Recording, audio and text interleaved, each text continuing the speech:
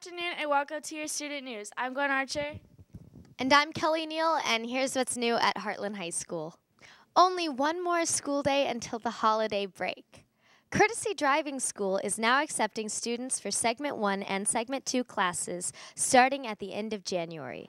Visit thecourtesydrivingschool.net to register today.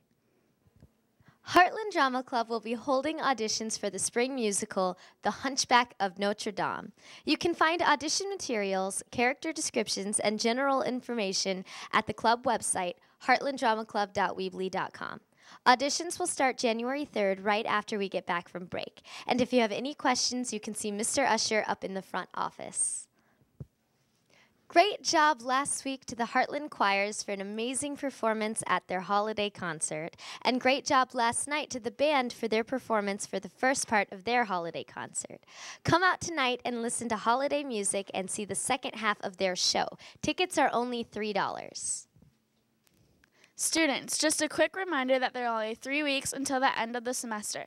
Remember, you get 15 tardies and absences, or you will lose credit, so don't go over. Special congratulations to our Adopt a Family Canned Good classroom winners. In third place was Mrs. Gazda's class with 412 items. In second place was Mrs. Evans with 628 items. And the winning classroom is Mrs. Bogues with 1,157 items. Thank you to everyone who participated. These last two days before break are Spirit Days. Today is Winter Color Day, and tomorrow is Ugly Saturday. And now, now for sports. Good afternoon, Hartland High School. I'm Danny Parisian, and here's what's new for sports.